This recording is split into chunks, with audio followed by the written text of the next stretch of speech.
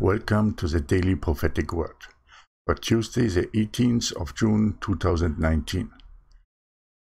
And the prophetic word given by the Holy Spirit is the book of Acts comes alive.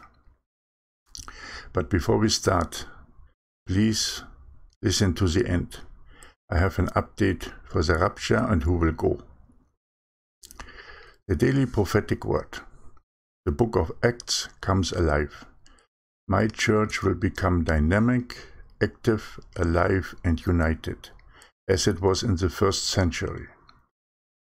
The societies of the rose. Take courage, my people, and work diligently at what I have placed in front of you. A dynamic, active, alive, and united movement. Triple grace and the societies of the rose in the nations. The book of Acts comes alive daily sacrifices of love, support for one another, love your neighbor as yourself, sharing resources and caring for the nameless and faceless. My new church is dynamic, active, alive, and united in my name. There will be light in the darkness and a beacon of hope for many people. I'm sending them out into the nations to gather my remnant in love, unity, and support, with the helmet of salvation and the sword of the Spirit. The book of Acts comes alive.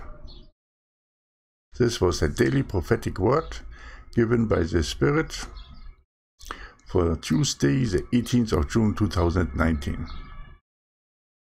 Thank you that you're here with me, and I will continue with the message about the rapture. And as you can hear, the enemy is always sending noises around. This time in form of some yeah, sirens, you can still hear them. Maybe something major has happened, I don't know. Anyway, now let us come to the information about the rapture and who will go. I received a vision where I saw several people that will go in the rapture. I saw my dead grandfather. And he, together with me and other people, were gathering the people for the escape of the bride. And there was a bus, and in the bus were people sitting who will go. There was a nun, a Catholic nun, most likely representing the righteous and religious and with who have prepared themselves, the wise virgins, something like that.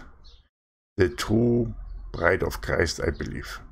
Then there was my grandfather and another person who represented the dead who were rising to go into the escape. And then there was my older brother, who's not a Christian in by any standard. He is a scientist and he is not believing in God. But he represented something that the Holy Spirit told me. He represented a firstborn because he is my older brother. He was the firstborn in our family.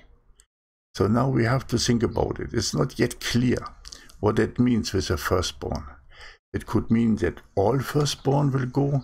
It could have relation to the death of the firstborn before the exodus of Egypt. But if you read the Bible, it's written everywhere in the Old Testament that the firstborn of humans and animals belong to God. So it could mean that the firstborn will be also translated. How and if is so or and who will be part of the firstborn, I cannot tell you. But we should think about it that the firstborn will also be part of the escape of the bride in some fashion. And by the way, I have some very important other news too. Have you realized the major electricity outage that hit South America? Where 44 million or 50 million people had no power? This is the times of darkness coming alive, the plague that Egypt hit just before the death of the firstborn. So all is playing together right now. So we have the times of darkness, millions of people in darkness for one day at least. And then now the next will be then the death of the firstborn, or I believe in this case it will not be the death of the firstborn, but it might be the disappearance of the firstborn. So that uh, everything will be fulfilled what is written. The escape of the bride, there will it will be a disappearance, it will not be a rapture. Nobody will see it. Nobody will see the Lord. But they will go into the clouds. So there was the information that I wanted to give you about the power outage and about the firstborn. Please take the information to the Lord and ask Him exactly how it will all fit together. But it is a clear pattern to the first Exodus and a clear pattern to what we have now in the escape and the great Exodus. I thank you that you are here with me and that you listen to the daily prophetic word and all the information that I have for you. If you have any question, please contact me at triplegrace55 at gmail.com. My name is Michael, and may God bless you and your family abundantly. Have a nice day.